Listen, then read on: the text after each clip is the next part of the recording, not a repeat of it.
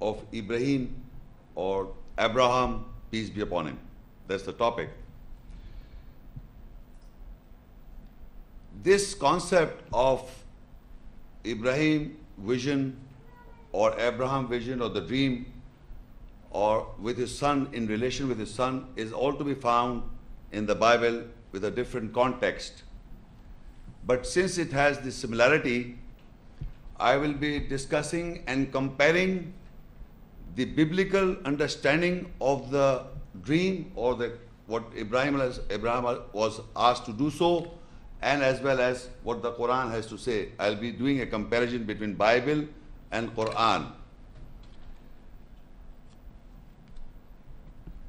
You are going to hear what was the dream that Ibrahim saw, number one. What is the interpretation of the dream as mentioned in the Quran? And then how did Ibrahim fulfill the dream? And you will also hear the family of Ibrahim, peace be upon him. What are the what is who was his family? His sons and his wife, and so on. And also you will hear what is the religion of Ibrahim, peace be upon him, and who are the enemies of the religion of Ibrahim, peace be upon him. This is the mainstream or the lecture you're going to hear. With the comparison of the Bible, of course, where it is deemed necessary, I have also quoted the reference of the Bible to have a comparative view. Now, coming to this word dream, in the world today, in the world today, as well as in the Quran, this dream, whenever a person sees a dream, in his sleep, he sees something in the dream, a narration or an event. Whatever you saw or whatever we see in the dream is not literal in the, in the real life. That can never be. So there are people in science and there are people in the world who are trying to interpret the dreams.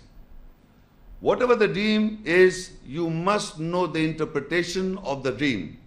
They are in, in, in, a form or an event or narration, but they are not literal. Whatever you see in the dream is not real in life. Some people may misunderstand. They think whatever we see in the dream it has to do something in real life. And they take it exactly as it is. So in the Quran, there is no such thing as exactly the same we require an interpretation and for that there are at least five dreams mentioned in the Quran, five dreams. And Yusuf, peace be upon him, was a messenger prophet of Allah who was given the knowledge how to interpret the events and the dreams. He had the knowledge. So this is how you will hear that uh, the dreams are always interpreted, interpreted and in the in, if you uh, in Surah Yusuf, you will see there are four dreams mentioned in Surah Yusuf, and you, in the dream you will see. I will give you a few references on my own words. That Yusuf salam peace be Yusuf peace be upon him saw a dream of eleven stars and a sun and a moon prostrating to him. Now, can you imagine stars or planets? Yusuf saw planets 11 planets and moon and the sun prostrating for him. He saw in the dream. But in true, in his real life, we see in the same Yusuf, Yusuf that in real life, his parents were exalted on the throne. That's the interpretation. Nothing to do with, the moons and the his, his parents were exalted the, uh, uh, on the throne and the brothers prostrated to Yusuf, peace be upon him. That's one of the uh, one dream. The second, there are two dreams of two young men. One man uh, narrates a dream to Yusuf, peace be upon him, that uh, uh, some bread is on his head. One, one man is press, pressing intoxicants or the wine. He's pressing that. And he, for that, Yusuf, salam, Yusuf peace be upon told that, that you will be giving wine to your Lord, or I mean to the king or the Lord. The other man saw that there was a bird, and on the head there's a bird sitting and eating fr- fr- from the bread from his head. So he said, "You will be hung on the cross." That's the interpretation. So there, then another king saw a dream that there are seven lean cows eating to the fat cows, seven fat cows. And then there were seven years uh, they had to cultivate the land and save it for seven other dreadful years where they have they have no food, so they have to eat. This is you know what I'm trying to say. There are five or five dreams, four I've told you, and one is that one referring to Muhammad peace be upon him that he saw in his dream few people were against him, and in real life there were many people who were against him. So Allah showed him little. So what I'm trying to convey here is the dreams have interpretations. Whatever you see in the dream is not real in life. So that is the important factor I want to emphasize. And that Ibrahim, uh, Yusuf al-Islam was given the knowledge of the dreams. Now, if coming to the topic, what the Quran says about the vision or the dream of Ibrahim, peace be upon him, first I will read certain at- attributes given to Ibrahim, peace be upon him. If you go to the first page, in Surah Hud 11, Ayah 75, Halim, forbearing and tolerant, Awahun, sighing and wailing, 1175, Munib, deputy, and Surah Al Imran 3, Ayah 67, Hanifam Muslima, true Muslim, Surah Al Baqarah 2, Ayah 130, Minas Salihin, from the righteous ones or from the correct ones, Surah Nahl 16, Ayah 120, Ummatam, qa- ummatan Qanita, devout nation, Surah Maryam 19, Ayah 41, Siddiqan Nabiya, the true prophet, Surah Al-Baqarah 2, Ayah 124, Linnasi Imama, Ibrahim al-Islam is the leader for mankind.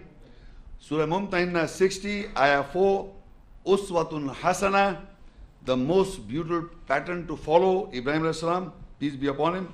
Surah Hajj 22, Ayah 78, Millata Abikum Ibrahim, it is the religion of your father Ibrahim. Surah Al Imran 3 and Ayah 97, Ayatum, mah- ayatum Bayyinatum Maqamu Ibrahim. Clear ayahs is the standing place or position of Ibrahim, peace be upon him. Al Baqarah 2 and Ayah 125, وَاتَّخِذُوا مِن مَقَامِ إِبْرَاهِيمَ مُصَلَّى You take the place of Salah prayer from the standing position of Ibrahim. These are the standing or the honor of Ibrahim, peace be upon him, Abraham, peace be upon him, in the following ayahs. Now we'll see what the dream is and how Allah ex- uh, s- uh, describe. Before uh, coming to the dream, I will read an ayah that will relate what was the status, one of the status as mentioned in the Quran with Ibrahim, peace be upon him. Surah Al-Baqarah 2 and ayah 1 to 4. وإذ ابتلى إبراهيم ربه بكلمات فأتمهن قال إني جاعلك للناس إماما قال ومن ذريتي قال لا ينال عهد الظالمين and when his Lord put Ibrahim to trial with words, then he completed them. He said, Surely I am making you an Imam, leader for mankind. He said, And from my offsprings, he said, My promise will not reach the oppressors. In this ayah, Ibrahim alayhi salam or Abraham, Abraham, peace be upon him, was put to trial by the Lord, put to trial by his Lord with words. Now the Quran is the how Allah put to trial to mankind is through his words. These Quran Arabic text are the words of Allah. Once you understand the words, you understand the spirit and the essence of the message of Allah, then you understand, then you obey and follow. So, by the words, you are being put to trial. Allah Himself is directly communicating, to man through His words. And this is how Allah try mankind by His words. So once you understand the essence of the message of the words, then you have to follow. So Ibrahim al-Islam, peace be upon him, was tried by the words. And in, the, in those words is the essence of the message of Allah. So he completed them, meaning he completed whatever the message was given to him. He completed them. So, so, so Allah said, I will make you the Imam or the leader for all mankind. The leader of mankind of all times. Ibrahim or Abraham, peace be upon him, of all human race on this planet Earth. So immediately Ibrahim, peace be upon him, asked Allah, Qala wa min. He said, and from my offsprings, Allah said, He said, my promise will not reach the oppressors. So once the status was given to Ibrahim as the Imam or the leader for all mankind, he asked Allah to, to have the similar status to his offsprings. So Allah says, My he will give the Imam or the leadership among his offsprings, but it will not reach the people who are oppressors.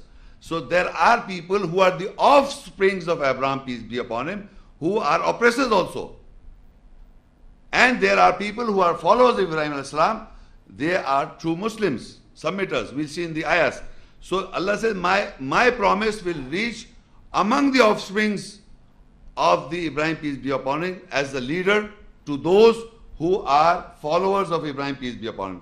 And those who do not follow, Allah will not, the, the, the, the, the promise will not reach for the, uh, to the oppressors, meaning the Imam or the leadership will not be given to those who are oppressors in the world. Now, from the, the moment Ibrahim, peace be upon him, came to know that the imamat or the leadership is given in, in his offsprings also, so he says in Surah As-Safat, 37, 100 and 101. Rabbi habli minas salihin. O my Lord, grant me from the correct ones. فَبَشَّرْنَاهُ بِغُلَامٍ حَلِيمٍ So we gave him the good news of a tolerant, forbearing boy. Now he, Ibrahim al-Islam, you must know that Ibrahim, peace be upon him, got the status of Imam, the leader. He's asking a similar status for among his offsprings. So he asked Allah, give me, grant me from the righteous ones or who those who correct, who amend their lives. So Allah said, we gave him the good news of a tolerant and a forbearing boy. And we'll see who is this person. Now in Surah Maryam 19 and Ayah 54, وَاذْكُرْ فِي الْكِتَابِ إِسْمَاعِيلِ إنه كان صادق الوعد وكان رسولا نبيا and remember Ismail in the book surely he was truthful of the promise and he was a messenger prophet. Now this boy who was a who was the good news was given of a tolerant boy. Allah says wadkul fil kitabi Ismail. And remember in the book about Ismail about Ismail Islam peace be upon him. Innahu kana sadiqal wa'di. Surely he was a truthful prophet. Wa kana rasul nabi and he was a messenger and a prophet. Now we are reading this ayat. What we have to find out what is the promise that Ismail, peace be upon him, fulfilled. What is the promise? What Ismail Islam fulfilled. If you read further in Surah, uh, coming back to page number 4 and 5, As-Safat 37 and Ayah 102. فلما بلغ معه السعي قال يا بني إني أرى في المنام أني أذبحك فانظر ماذا ترى قال يا أبت افعل ما تؤمر ستجد ستجدني إن شاء الله من الصابرين And when he reached to make an effort with him or endeavor with him, he said, O my son, surely I saw in the sleep that I am slaughtering you. So view it what you see. he said, O my father, do what you are being ordered. Then you will find me, if Allah wills, from those who have patience. In this ayah, the dream, you can see the dream. You can see the dream. When this son reached an, a an age of where he can do some efforts and do endeavor with him, So Ibrahim saw a dream. And the dream was in the dream, remember this. قال يا بني إني أرى في المنام Surely I saw, I see in the dream that I am slaughtering you. In the dream. Then he asked his son, view it. You also see it. When I'm narrating to you, view it and what you see. فانظر ماذا ترى فانظر ماذا ترى So his, the son says, قال يا أبت افعل ما تؤمر He said, do what you are being ordered. Satajiduni inshaAllah, inshaAllah, minas sabirin. Surely if Allah wills, you will find me who, those who have patience. Now, Ibrahim Rasul sees the dream and in the dream he saw that I am slaughtering, slaughtering, physical slaughtering of the son. That's in the dream. Remember. And then he asked his son, what is your view what you what what what would you do if you are in that position that I am slaughtering you? So he said, whatever Allah has ordered you, you do go ahead with it. I'll be uh, I'll have patience of of whatever. I'll, then you find me if Allah wills for those who have patience. So this is the promise of Ismail salam to his father. This Allah says in the first ayat I read, Inna kana sadiq al wadi, that he was truthful of his promise. So here in the Quran doesn't give the name, but we know that this is the promise that Ismail salam said, whatever Allah or, uh, do, do what you are being ordered, then you will find me, if Allah wills, from those who have patience. Now, before I read further, I would like to have a, a, comparative view here. Because, first of all, you must know that this, what I read, is the Quranic concept. And in the Quran, Ibrahim al-Islam saw a dream, and in that dream, he was slaughtering the son. You must know this. Now, let us see what the Bible has to say to have a comparative view. Genesis 16 and verse 12. Now, this is the the narration about Ismail, that's the way the Christians say. He, Ismail, will be a wild man. In the Quran, he's a tolerant, forbearing, forbearing son. In the, in the Bible, he's a wild man, and his hand will be against every man, and every man's hand, hand against him, and he shall dwell in the presence of all his brethren. This is the status of the Bible that he will be a wild man and his hand will be against every hand, meaning he'll be fighting all, all over, which the Quran doesn't say a word of like that. So you can choose and pick what the Bible has to say and what the Quran has to say. Now I am narrating the description of the event, the similar event, of what the Bible has to say about Abraham and his son. In Genesis 22, verse 9 and 10, and they came to the place which God had told him of Abraham, built an altar, altar there, and laid the wood in order and bound Isaac his son, and laid him on the altar upon the wood.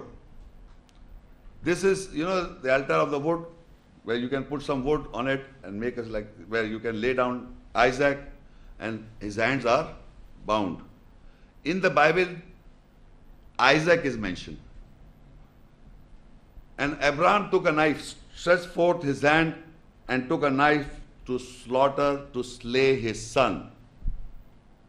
I am reading the Bible to educate you this concept about taking a knife to slaughter his son because in the Bible, God ordered to slaughter the son. In the Quran, he saw a dream. It's not real, it's a dream. But here, in the Bible, it's an order, and now so Abraham took a knife and put his hand on, uh, took a knife to slay his son. So God said, and he said, Lay not thine hand upon the lad, neither do anything unto him, for I know, now I know, that thou fearest God, seeing you have not withheld thy son, thy only son from me. Now, the moment he wanted to slaughter, so God intervened. He, and he says to Abraham, do not slaughter your son, for now I know that you are all you are ready to kill your son because I ordered you. That means you want to, to even kill your son, even if I ordered. And believe me, the Quran very categorically says, do not kill your children. Do not kill your children means do not kill. So he will not give a false test by going his own, own law. When he said, do not kill your children, then how would he say that you slaughter your son? It's not logical. So in the biblical terms, he says that God wanted to know that you are ready to even kill your own son because I ordered. And now don't kill it. And look further, and in verse 13, and Abraham lifted upon his eyes and looked, and behold, behind him a ram caught in the thicket by thorns. And Abraham went and took the ram and offered him for the burnt offering instead of his son. This is redemption or ransom. This, this ram was slaughtered instead of his son. Instead of his son, he slaughtered the ram, and ram was there. This is the biblical concept of slaughtering and what to do. This is a biblical concept. Now coming back to the same Quranic ayahs, we'll see Surah Safat 37, 103. فَلَمَّا أَسْلَمَ وَتَلَّهُ لِلْجَبِينَ When both submitted and he, Ibrahim, elevated him for the front. Now, when he saw in the dream Abraham was slaughtering his son, and the son was ready to, to be slaughtered, what happened? They both submitted. Who? Ibrahim. Here, he didn't put a, took a knife and wanted to slaughter. There is no mention in the Quran. He took a knife and wanted to slaughter his son. There is not mention in the Quran. Both submitted, meaning they understood the message, what was said to him in the dream. What the dream was that he wanted to slaughter or sacrifice his son. So falamma aslama, they both, in Ibrahim, Abraham or Abraham, Ismail or Ismail, both submitted. Watallahu jabin, and and Abraham, he, Ibrahim, elevated him for the front. Elevated means in English language, raised to a higher place or position, office, rank, or spiritual level. That's a elevation. To promote, exalt on a higher level in some respect. Now, you must understand that Abraham, why, why, what the dream is, that Ibrahim, peace be upon it, upon him, wanted a, an offspring who would be an imam, the leader like him.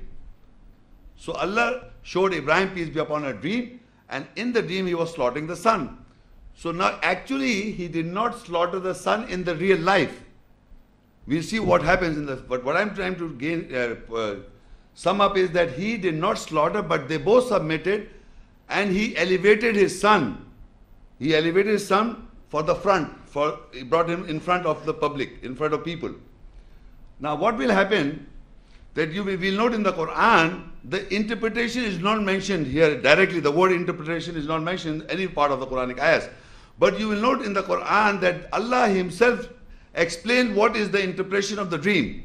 When I will read the ayat, we'll come to know. For example, Al-Baqarah 2 and Ayah 125. وَإِذْ جَعَلْنَا الْبَيْتَ مَثَابَةً لِلنَّاسِ وَأَمْنًا وَاتَّخِذُوا مِن مَّقَامِ إِبْرَاهِيمَ مُصَلَّى وعهدنا إلى إبراهيم وإسماعيل أن طهرا بيتي للطائفين والعاكفين والركع السجود and we made, when we made the house a place of reward and safety or security for people, and you take the place of salah prayer from the standing place or position of Ibrahim, and we took a pact, a covenant with Ibrahim and Ismail, that both of you should purify my house for those who go round and those who intend upon, and those who bow prostrate. In this ayah, you will note that the house is for safe, the Kaaba or the house of Allah is for safety and security, made for mankind, a place of reward. And there is a, to take the place of Salah prayer from the standing position of Ibrahim. But here, the, this is the important aspect.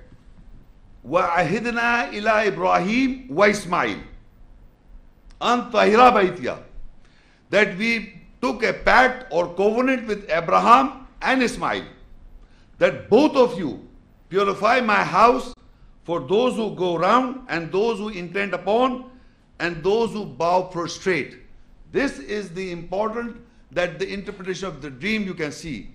Because he wanted his son to be the imam, the leader, so Allah asked Ibrahim to sacrifice your son in the cause of Allah. That both of you, the, uh, the, the, the pact was that وَعَهِدْنَا ila Ibrahim wa Ismail, both of you purify my house. The purification of the house, the Kaaba. What is the, the, the purification of the house for those who are going round, Those who are standing, bowing and prostrating, or intent upon etikaf. Now the question is, this is very important verse to understand that, that both of you, Ibrahim and Ismail peace be upon him, both of them has to purify the house for people. Who's, who's, who, which people? Those who are going round the Kaaba, those who are standing or bowing or prostrating. For them, he, both of them has to purify the house. So when everything is going on today also and at that time also, that we come to know that the purification of the house in the minds of the people is not clear. People do not have the clear concept of the house of Allah still today. For example, they say there were 360 idols in the house of God and it was purified. They were never in the Quranic ayat, there is not a single verse which indicates that there were idols in the house of Allah. Never. So people have got 360 idols in their minds. Who are who, is, who have this? We people who are doing salah, practicing salah, standing, bowing, and prostrating, and going against the tawaf. We are doing tawaf also, Hajj Umrah. Mankind today, mankind of today are establishing the salah, the prayer in Masjid al-Haram, the sacred house, Kaaba. At the same time, they are also performing Hajj and Umrah. But the concept in their mind of house is not purified. They still have got 360 idols in their head, not in the house of Allah. So this is how the purification of the house from that day and still today, Ibrahim salam and Ismail salam, Allah asked uh, or made a, took a pact, a covenant between that you will purify my house. People have got still concept wrong. Purify my house means for those who are standing, for those who are bowing, for those who are prostrating or intent upon those going round the Kaaba. They are performing all the duties with the wrong concept of the house of Allah. This is how you have to purify my house. So this was the covenant. Now there is a covenant in the Bible as well. I told you I'll be comparing. So in the covenant of is Genesis 17 and verse 10 and 14, this is my covenant which you shall keep between me and you, and thy seed after thee, every man child among you shall be circumcised. And the un uncircumcised man child whose flesh of his foreskin is not circumcised, that soul shall be cut off from his people. He has broken my covenant. This is a biblical concept of men, children, boys should be circumcised. This is mentioned in the Bible. This is a covenant in the Bible. That all male, male child should be circumcised. So you see, this is very easy.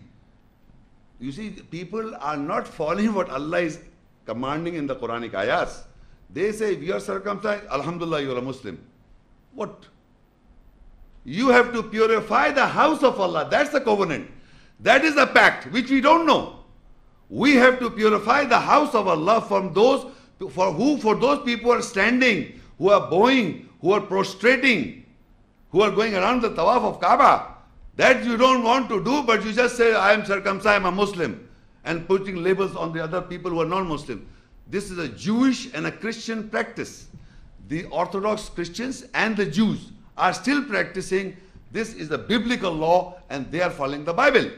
It's not Quran. Quran has nothing to do with circumcision at all, not Islamic at all. This is a biblical concept. In the Quran, the covenant or the pact